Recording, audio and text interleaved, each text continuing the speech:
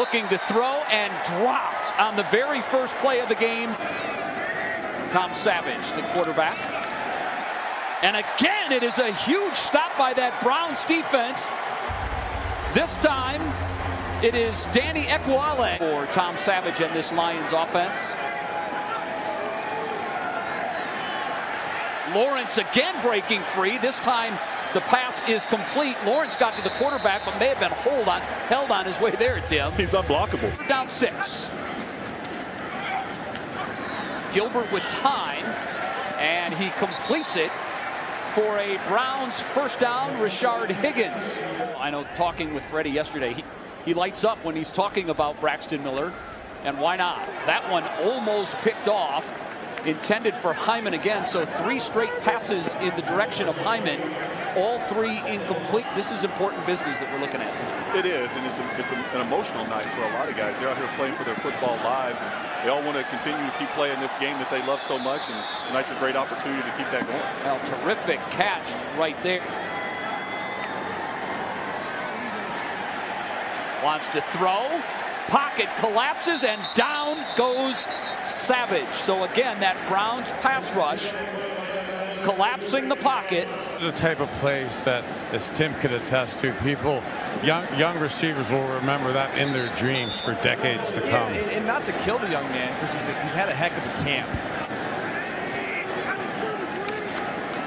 And the give is to Hilliard, who finds a hole up the left side, now cuts it back, takes it down inside the 20-yard line for the biggest play of the night for either team. They're able to run the ball, run the ball uh, with Nick Chubb as well, so I, I, expect the Browns to be even better in that area. Gilbert with time wanted Willies in the end zone, but there was some miscommunication there. He broke off the route. Good hold, and it is good. So the Browns jump on the scoreboard first. So second down five now for Gilbert. They'll try to move it on the ground, and there's some room up the left side for Dontrell Hilliard, who takes it up for a first down and finally out of bounds. Back in the past, I think really helps you be able to pick up a playbook and understand what's going on pretty quick. Gilbert hurries his throw. That is actually caught by Vornkohl for the completion. The ball was tipped. It was hanging in the air for long enough. Gillan isn't punting with his feet at the back line. Time for Gilbert. Has his man, it's Miller. Who just who loves to make that first guy look silly. Another flag down. Holding. Offense, number 77. The foul occurred in the end zone, resulting in a safety. Two points, Detroit. When you look at the weapons they have offensively, it may not take many points for the Browns to get into the win column on Sundays. Pass is completed, and the receiver makes the first man miss. Probably has the inside track, although David Blough has played very well this preseason. That time it's caught. And it is good for Ish because we've seen him drop a couple Ish Hyman. With it after the, after the catch, keeps this drive alive. Gilbert gets the club quickly to the line. This time it's complete to Derrick Willies, who breaks a tackle and has room up the left side. Finally tackled at the 32-yard line. The hit after the throw, but delivered a strike and now has the Browns pushing field goal range. Gilbert again to Willies, who quickly and alertly runs out of bounds. Gilbert in the gun. Trips up top. Willies with time. Throws caught. Touchdown Browns. Dontrell Hilliard finds the end zone for the game's first touchdown. And that, Tim, was a nice looking drive. Those from year one, year two. Was that Hal Mumme? That was Hal Mumme, yeah. Oh, Mike Leach, yeah. Yeah, Mike, there you yeah. go. That's, that was a great offense. It was. It was a great offense. You know, it's really spread throughout college football now. I mean, so many teams are running. Going to Purdue, Drew Brees has always been his guy. And as an undersized quarterback, he's always looked at Drew to sort of show him the way. That one is batted and intercepted by that Lions defense. Looked like the ball was tipped at the line of scrimmage. Jonathan Alston coming up with the interception. Let's see what happened. Kind of snuck in under the radar that has really impressed you this camp. I mean, you know what? There's there's a lot of young like uh, Third down and five for Johnson and the Lions. Heavy pass rush coming. Johnson sneaks out of the backfield and squirms forward for enough yardage to move the chains. It's a Lions first down. You know, before he hurt his knee at Auburn, I mean, he was a spectacular football player. And he kind of got lost in the cracks there. And, you know, we acquired him on a trade last year. Folks are going to say, how did John get him for a seventh round pick? Because he's just really performed well here, even in practice, going against. He loves the game of football. He's Yeah. passionate. I mean, and once he walks out on those lines, he is so competitive. I mean, it's just fun to watch him. Johnson on the keeper takes it in for the Lions' first touchdown after the pass interference call. Better than the players that the Browns kept. Yeah, not, it's going to be a few sleepless nights for the Browns front office trying to make all these decisions and go through all that, as, as you mentioned, Jay. Lyle's deep throw for Derrick Willies is intercepted by Jamar Summers. Nine days from now, when the Browns will welcome Tennessee to First Energy. That run play sniffed out early. A gain of maybe a yard on the play. Turning kicker and punter.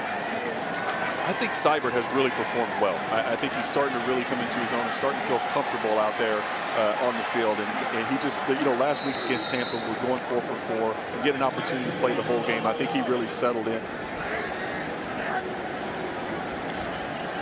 Blough to throw all kinds of time.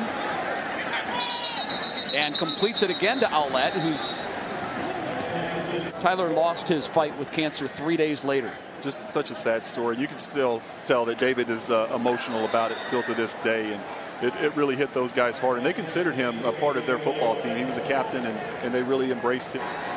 Johnson now second and 10 for the Lions. And that run is good for a Lions first down. And it's done really well in pass protection for the Browns this preseason. Johnson's throw caught and dropped down. A little bit of an injury, uh, hamstring. Uh, for him to get those extra reps basically as the number two, I think that's when he really kind of solidified himself uh, to potentially make this team. It's not a given that he makes it. You know how many backs they're going to keep and how they're going to kind of shake that thing out. Getting him the football, getting in the right spots, and the run after the catch is incredible. Yeah, his his ability to, to find himself open in that slot area to get that yard yeah, or two difference behind There he's 16. That's a that's a nice catch too by yeah. Hyde. Think about your the task at hand. I hope for the young man's sake that he keeps keeps making these plays in the second half. This could be Alsco. Get in there. Gray inside Keep the 10 down to the 5-yard line. missed a touchdown catch last week. Couldn't get that second foot in. Gray with the carry around the left side. Big guy hits the corner and takes it in for the score. Go Canes.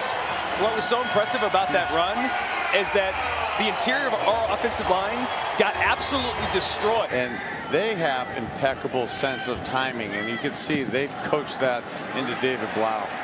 It's a good chance to talk about Blough's story about Baker Mayfield. More about Baker Mayfield. We, we find that's that's the kind of guy yeah, he is. kind of guy he is. He really is that great guy. teammate. And you know what? I think uh, and, and quarterbacks know this better than anybody. Just like the, the Saints, like like like in the Saints and Rams playoff game, that we're probably nice not going to see a lot of them overturned. Beautiful throw. Beautiful throw on the run. We probably won't see a lot of them overturned early in the year. That was the first legitimate offer he had. And he said, "I'm good. I want to play where Drew Brees played." Oh, he's been well versed in, in terms of reading defenses for a, a rookie quarterback.